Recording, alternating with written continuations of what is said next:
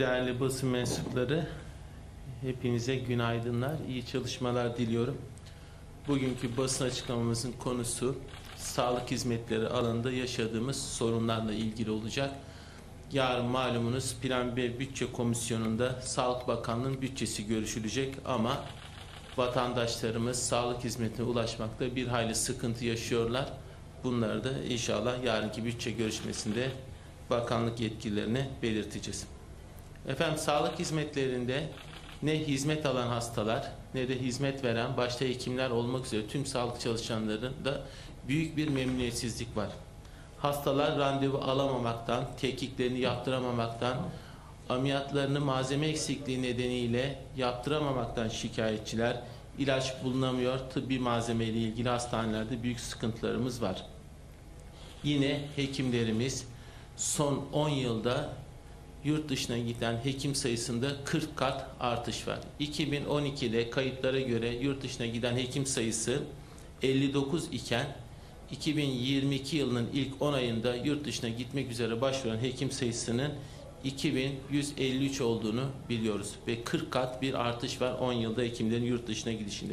Yine istifalar bir hayli yoğun şekilde yaşanıyor sağlık alanında hekimlerin istifaları ve sağlıkta şiddet her geçen gün artıyor. Yine son 10 yılda sağlıktaki şiddetinde %600 oranında artmış olduğunu görüyoruz.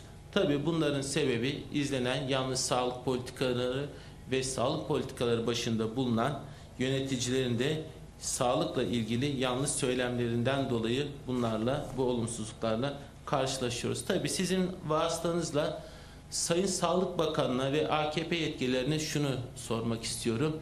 Sizin yönetmiş olduğunuz Sağlık Bakanlığı'nda neden Türkiye Cumhuriyeti tarihinin en fazla yurt dışına çıkan hekim sayısına ulaştık? Neden? Yani burada sizin sorumluluğunuz yok mudur? Ve yine tarihin en yüksek sağlıkta şiddet e, oranını yine sizin Sağlık Bakanlığı yönetiminizde görüyoruz. Burada da yine size ait bir sorumluluk yok mudur diye sormak istiyorum. Peki hekimler geleceklerinden umutsuz ve mutsuzlar. Mutsuzlar sadece hekimler mi? Bunun yanında bakın hemşirelerimiz de yurt dışına gidiyor. Nitelikli hemşireleri de yine her geçen gün giderek kaybediyoruz. Ve geçtiğimiz haftalarda 5 Kasım tarihinde hemşirelerin özlük hakları ve çalışma koşullarının ağırlıkları nedeniyle 10 yıl aradan sonra miting yaptıklarını yine şahit olduk. Yine eczacılarımızda özellikle ilaç fiyat tarifesinin güncellenmesi ve ilaç politikalarındaki yanlış uygulamalar nedeniyle 27 Kasım'da eylem yapmayı planlıyorlar. Yine tıbbi teknikerler özlük haklarının gerilemiş olması nedeniyle ve atama yapılamaması nedeni özellikle diyaliz teknikerlerinde yoğun şekilde şikayetleri mevcut. Tabii bu şekilde sahada şikayetler varken Sayın Sağlık Bakanı diyor ki efendim beyaz reform yaptık. Biz de buradan belirtmek istiyoruz. İşte beyaz reformun içinin ne kadar boş olduğunu hep birlikte burada görüyoruz. Alanlar şikayetçi.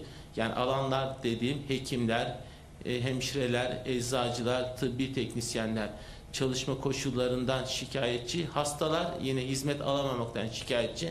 Ama Sağlık Bakanı'na döndüğümüz zaman beyaz reform yaptık diyor. E, reformun içinin ne kadar boş olduğunda hep birlikte yaşayarak görüyoruz. Efendim Sayın Sağlık Yönetiminde Sağlık Sayın, Sağlık Bakanı'nın devamlı gelgitlerini ve zikzaklarını görüyoruz. Ben bununla ilgili birkaç örnek vermek istiyorum size. Sayın Sağlık Bakanı beyaz reformu duyururken can çekişen performans sisteminin e, fişini çekiyoruz diye duyurdu beyaz reform. Yani can çekişen bir performans sistemi. Oysa performans sistemi 2003 yılında AKP iktidarı sağlıkta dönüşüm programına başladık dediği sistemin merkezinde yer alan bir sistemdi performans sistemi. Yani sağlıkta dönüşüm programı ile birlikte AKP iktidarı performans sistemini getirdi ama getirdiği sistemin olumsuzluklarını demek ki kendi de yaşadı ve fişini çektik diyor. Hem kendi getiriyor bu olumsuzlukları hem de daha sonra da düzelttik diyerek bundan bir övünç, bir kazanç sağlamaya çalışıyor. Yine AKP iktidarı 83 yıllık bir tarihsel geçmişi olan Refik Saydam Hıfzı Sağ Enstitüsü'nü efendim artık pek yerli aşı üretimine ihtiyacımız yok diyerek 2011 yılında kapatıyor. Daha sonra pandemide yaşadığımız sıkıntılar sebebiyle 2021 yılında tekrar açmaya çalışıyor. Yani kapatan da AKP iktidarı Refik Saydam Sağ Enstitüsü'nü açmaya çalışan da yine bu Sağlık Bakanlığı ve yine kamu özel işbirliği projeleriyle yapılmış olan şehir hastanelerinin projelerini vatandaşımızın önüne getiren de AKP iktidarı ve bunun maliyeti çok yüksek. Artık bundan vazgeçtik. Genel bütçeden yapıyoruz diyen de yine AKP iktidarı. Yani sonuç itibariyle Sağlık Bakanlığı artık bir yapboz tahtasına dönmüştür. Gelgitler bir hayli fazla miktarda görülmektedir ve istikrarlı bir sağlık yönetimi maalesef görülmüyor.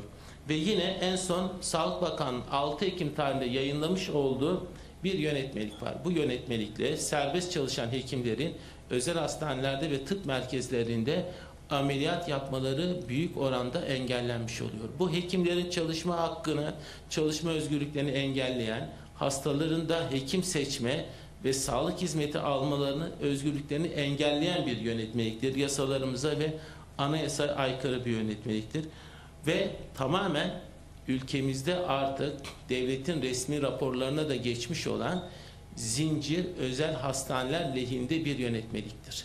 Oysa Sağlık Bakanlığı bir gelir varsa veya bir hizmet varsa bunu homojen şekilde serbest hekimler olsun, özel hastaneler olsun, kamu hastanelerine dağıtmalı ve vatandaşın lehine karar alması gerekirken zincir özel hastaneler lehinde bir tavır sergilemiştir.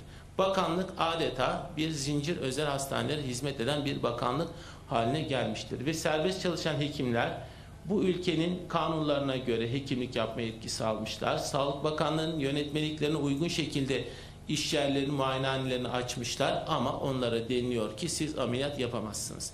Buna yönelik olarak geçtiğimiz hafta uzmanlık dernekleri, tıpta uzmanlık dernekleri bir araya geldi. 45 dernek ve bu yönetmenin hem halkın sağlığı açısından hem de hekimlerin çalışma özgürlükleri açısından sakıncalı olduğu ve Sağlık Bakanlığı tarafından bir an önce geriye çekilmesi gerektiğini belirttiler. Bizler de buradan değerli basınımızın vasıtasıyla Sağlık Bakanlığı'nın zincir özel hastaneler lehine yayınlamış olduğu 6 Ekim tarihli yönetmeliği halk sağlığı açısından hekimlerin çalışma özgürlüklerini engellemesi açısından bir an önce geriye çekilmesini istiyoruz ve yine hekim arkadaşlarımız yaklaşık olarak 50 günden bu yana Sayın Sağlık Bakanı Fahrettin Koca'ya hekimler nerede ameliyat yapacaklar diye bir soru yöneltiyorlar. Maalesef bu sorunun cevabını halen almış değiliz.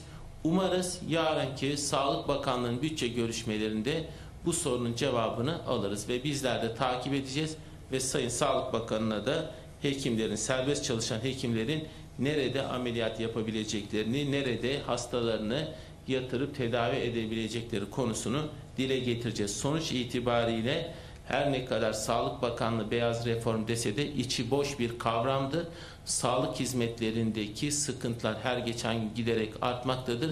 Bu yanlış yapılanma kamudan yana bir sağlık politikasıyla ancak düzeltilebilir ve bizler görüyoruz ki AKP iktidarı kesinlikle ilk günden bu yana iktidara geldiği günden bu yana kamudan yana değil kamunun aleyhine bir sağlık politikaları izlemiş devamlı surette özel sektörü güçlendirmeye yönelik sağlık politikaları izlemiştir. Ve sağlık hizmetlerinden daha doğrusu vatandaşın almış olduğu sağlık hizmetleri üzerinden kendi yandaş şirketlerine para kazandırmak refleksiyle hareket etmiştir. Bunun artık e, bir noktada durması ve kamu yararına sağlık politikalarının uygulanmasını talep ediyoruz. Ben hepinize çok teşekkür ediyorum. Soru varsa cevaplamak isterim efendim. Peki, teşekkür ederim. Sağ olun.